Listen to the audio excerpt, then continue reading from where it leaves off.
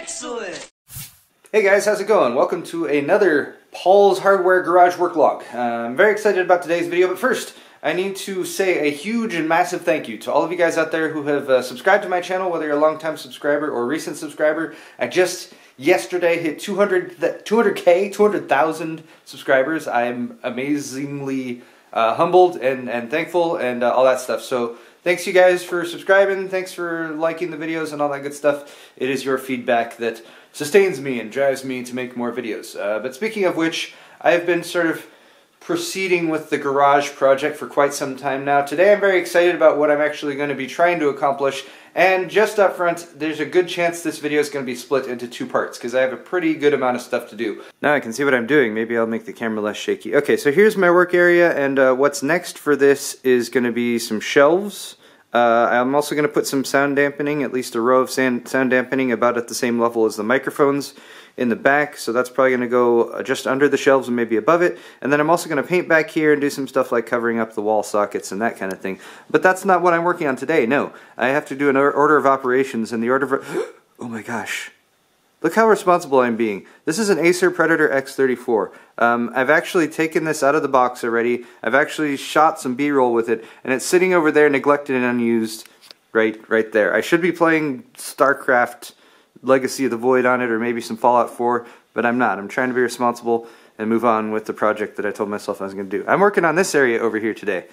Perhaps less glamorous, but very required. Um, this is all just storage stuff. I've actually massively cleaned up this uh, this area here as of yesterday. Um, so here's what I'm doing today. First off, uh, where this little shelf is, I'm going to make a cabinet, a stand-up cabinet about 8 foot tall, uh, and it's going to open up and that's going to hold like a lot of my camera gear, uh, and like production equipment and that kind of thing. Um, so that's going to take, that's going to be about three foot wide right there.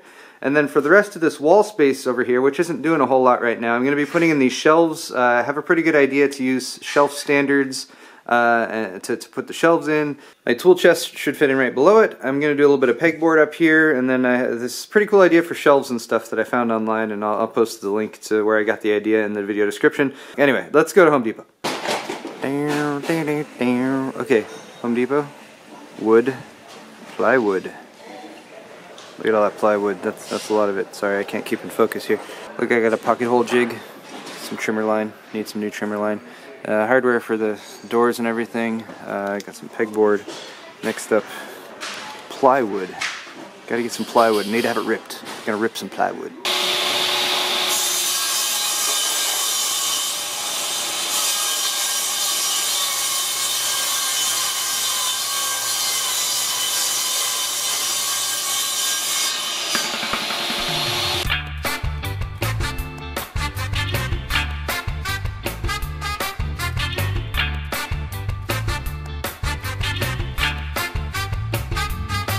Can now answer that age-old question of how much plywood can you fit into a two-door Honda Accord? That much. About that much. So here's a look at my haul. Uh, of course, all that plywood. Basically, this is five total pieces of four foot by eight foot plywood that's cut into strips. So I had them cut into foot and a half wide strips that way.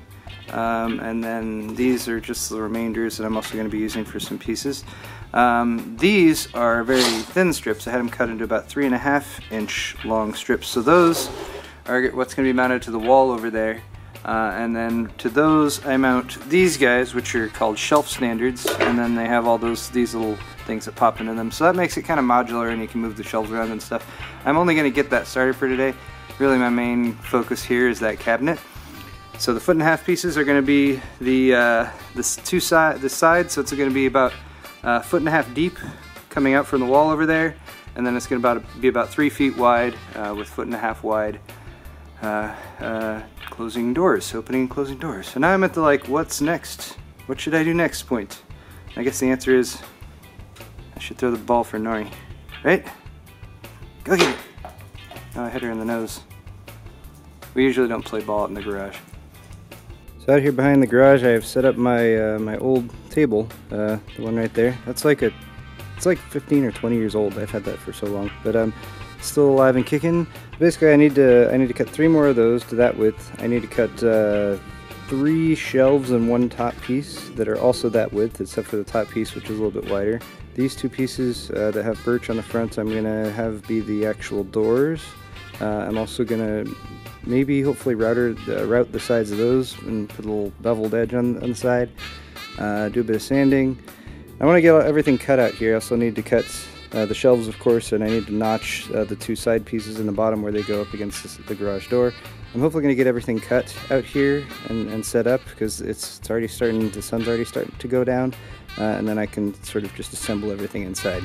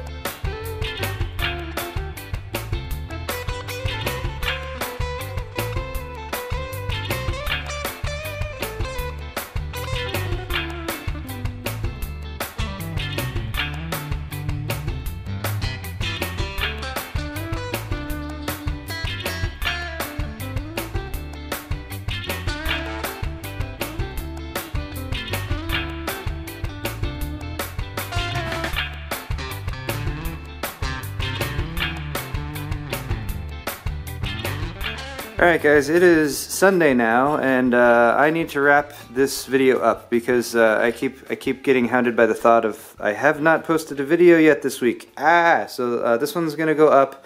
It is uh, gonna be a two-parter, so uh, as you can see, I'm still in process of the work here. Just to recap, uh, on Fridays when I started this video, and I got a pretty good amount of work done. I did I did my shopping. Uh, and I did a bunch of wood cutting, cutting down to size and sanding and that kind of thing. Uh, yesterday was Saturday, and um, I was distracted pretty significantly because I've decided to purchase a new car, or at least a new to me car, um, and that, that kind of took away from some of the time. But I did get in here yesterday and I started to assemble this whole thing, as you probably saw in the time lapse. So um, it's really big, it's really tall. These two shelves are installed, roof uh, the top of it is is is connected up there with uh, with nails going all along the edges. These are connected with nails on the sides as well as along the back on the support there. Uh, the bottom piece is still just sitting there in place. I haven't connected that or connected up either side, which is why it's still bowing out a little bit at the bottom because both of these side pieces had some pretty significant bowing going on with them. Um, my technique for assembling this thing was A, to not plan ahead as much as I should have. So um, there's certain things I would have liked to have done, like um, there's there's more shelves than what's what's going on in here that I'm planning to install, and I should have started out with those in mind, um, so I could have done some pre-drilling stuff on the sides and whatnot. But I, you know, I, you got to push forward sometimes, so I had to push forward. So we're starting with three shelves and a roof. Um, this bottom one's going to get connected, mounted up.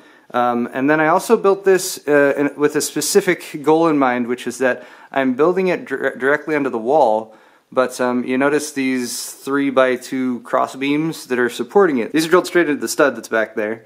Um, but if I ever did want to remove this entire thing and perhaps shift it down another wall or move it over to the other side of the garage or anything, I should, in theory, be able to remove four screws, uh, the four that are here, the four that are in the beam there, and then the four that are in the beam up there, and this whole thing should be able to come off of the wall and be able to shift around and move and whatever. Here's a look at one of the doors just kind of propped in place. Uh, the doors are also plywood, but they're birch plywood, which costs, I don't know, just a few bucks more and has a nicer finish on it. And this one I went to the trouble of sanding, and also uh, I used my router to go uh, right along the edge here. Sorry I'm using autofocus, so I don't know how well focused this is. Also, these shelves are almost almost completely level. But coming up very soon on Paul's next garage work log, I'm going to clear all this stuff out. I'm going to paint this wall. I need, I'm going to get some more gray paint. I might go a little bit lighter, but it's going to be mostly the same color. I'm going to paint that whole wall, and I'm actually going to paint the entire frame of this that same color. At the same time, I'm also going to do some caulk and uh, seal up around the edges in the back and the front. I know that might make it hard to pull the thing off the wall later, but I gotta seal that up if I want dust to get not get in there, at least as, as little dust as possible.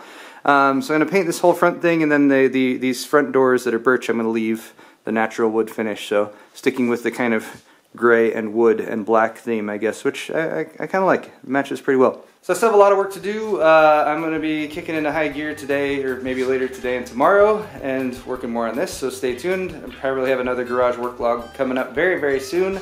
Uh, thanks for watching this video, guys. Again, thanks for bearing with me as well through all of these uh, transitional times that I have going on as I work on the garage and update things. Uh, I know it's going to be awesome once I get it all finished, or at least as finished as it's going to be for me to move on to the next stage. Uh, don't forget to hit the like button if you enjoyed this. Uh, subscribe to my channel if you haven't already. Buy a t-shirt perhaps at store.paulshardware.net if you're interested in supporting my cause. And uh, we'll see you all next time. Have a great weekend, everyone.